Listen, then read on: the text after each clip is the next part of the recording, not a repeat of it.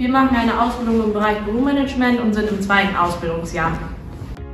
Es handelt sich um eine dreijährige Ausbildung und hast du zuvor eine einjährige Berufsfachschule besucht, wie die höhere Handelsschule, kannst du direkt im zweiten Ausbildungsjahr starten. Die Ausbildung findet viermal in der Woche im Betrieb statt und einen Tag in der Berufsschule. Im ersten Ausbildungsjahr sind es sogar zwei Berufsschultage. Praxisnah und wichtig die Berufsschule für unsere Ausbildung ist, möchten wir euch an einer nachgespielten Situation zeigen.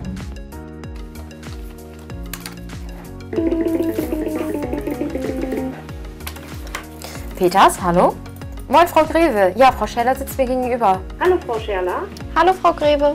Sie können sich doch an die letzte Teamsitzung erinnern, auf der wir besprochen haben, in circa vier Monaten einen Tag der offenen Tür zu veranstalten. Ja, das können wir. Ja, das können wir.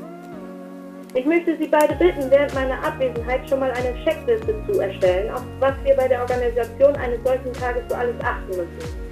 Da es das erste Mal für unser junges Unternehmen ist, dass wir so einen Tag der offenen Tür veranstalten, sollten wir früh genug mit den Planungen beginnen. Ich kann mich erinnern, in Ihren Berichtsheften gelesen zu haben, dass Sie sich in der Berufsschule schon mal Ähnliches gemacht haben. Nächsten Montag bin ich zurück und würde mich freuen, erste Planungsvorschläge von Ihnen zu hören. Viel Erfolg dann und bis nächste Woche. Ich muss jetzt auflegen, da ich gleich ein wichtiges Kundentreffen habe. Tschüss! Alles klar, wir tun unser Bestes. Tschüss. Tschüss. Puh, kannst du dich daran erinnern, dass wir sowas gemacht haben?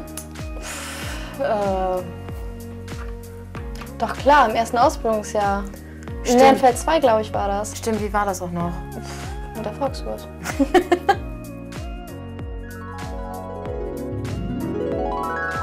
Ähm, zum Beispiel die Teilnehmerzahl, die Personenzahl abschätzen oder der Termin der Veranstaltung. Daraufhin sollte man berücksichtigen die Urlaubs- und Ferienzeiten, die Anreisezeit, der Messetermin und andere Termine der Teilnehmer berücksichtigen. Ich schau eben auf iSurf. Da müsste die eigentlich irgendwo sein. Ich schau eben.